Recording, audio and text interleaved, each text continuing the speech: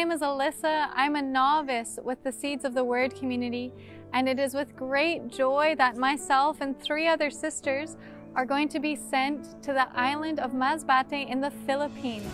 It is a new foundation in the Philippines. There's a Farm of Hope. The Farm of Hope is a Catholic community that welcomes people who have drug dependence, who are trying to recuperate and start a new life. They have asked for the help of our community with this work of mercy.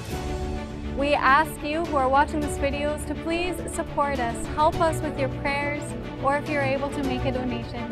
Thank you so much.